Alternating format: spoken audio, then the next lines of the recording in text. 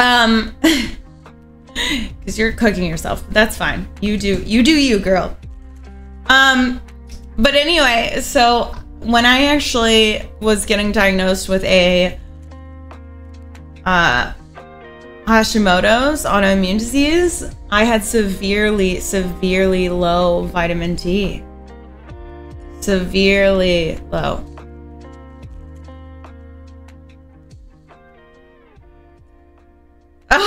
Chaos. And actually, it's better because I started taking this vitamin D from my doctor. My vitamin D was so low that I was prescribed vitamin D for six months. And I don't have Hashimoto's. I was on the cusp of having it, um, but I did. And I find out tomorrow. I do have a um, I do have a lump in my throat, and I had so Hopefully it's benign. It either means I have a viral infection, bacterial infection, cancer, benign, or autoimmune disease.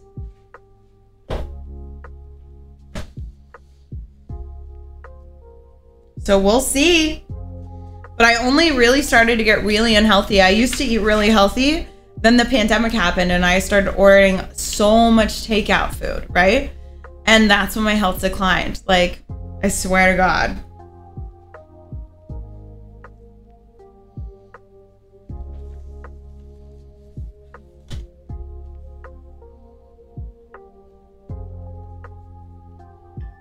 Uh, enjoy dinner.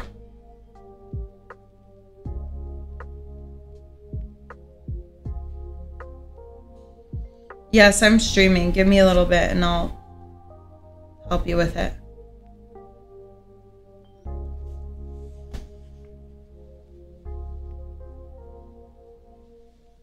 Yeah, I know.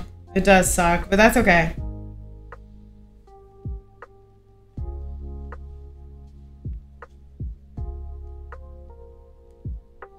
That's all right.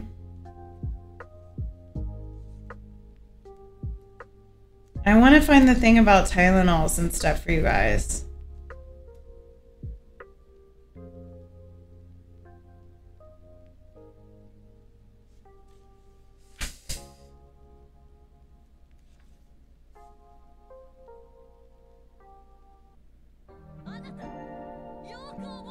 Make it rain!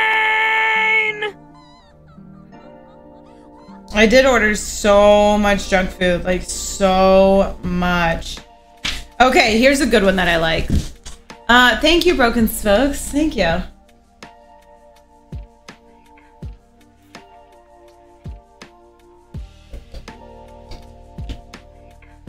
Right? Right, Chris? I need to. It's just so good. What's also mind-boggling is the lack of fiber in the average American diet. Pasquale, I actually take fiber every day because I, I the same thing. There is no fiber in my diet. I have to take it. Thank you for the posture check, Charles. At least you did something you enjoyed.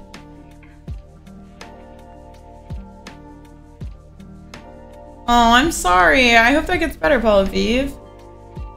I thought Teflon was one of the most chemically inert compounds because of the fluoride bonds. Either way, hydrogen monoxide, monoxide is actually documented to kill so many people every year. This is wild that we don't bring it up. It is never part of the conversation. No, seriously.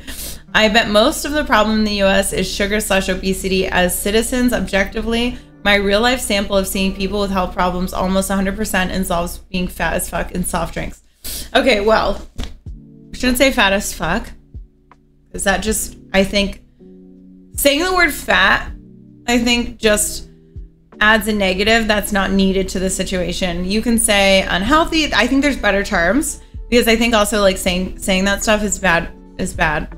Um, but it's actually not sugars that are so bad. I mean, the sugars are bad in America, but the biggest problem, the biggest problem we have are the oils or all the fake oils that we use, the substitution substitution oils. That's actually the biggest problem for us. That's the biggest problem that that leads to a lot of this issue. Sugar is very high up there, but it's the fatty oils, yeah. They're in everything. They're in everything.